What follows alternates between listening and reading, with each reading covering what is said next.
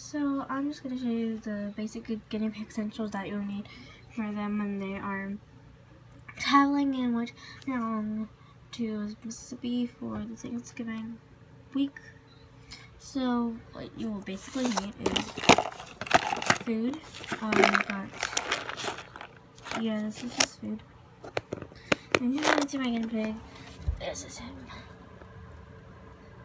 He's very curious about what I'm doing right now.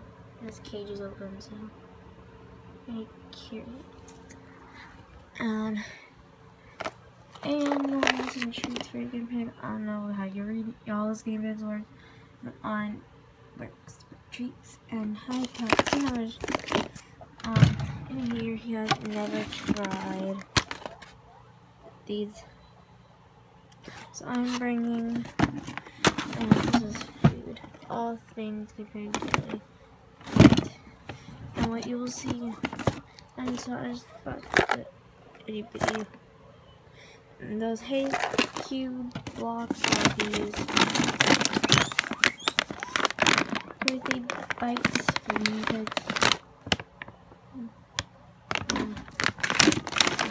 And then what else? I've heard, I've earned this because he's going to get an ow. I should have thought of that before I did this.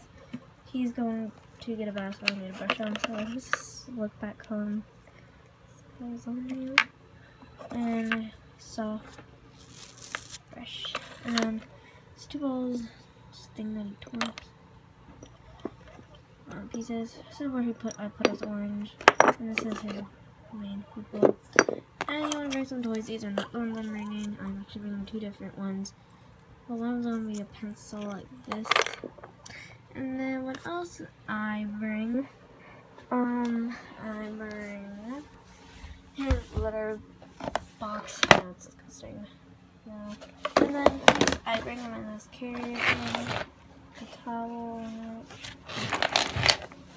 Yep, this kind of happens. So just like ignoring it. And this is his thing.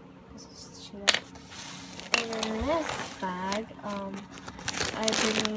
bag,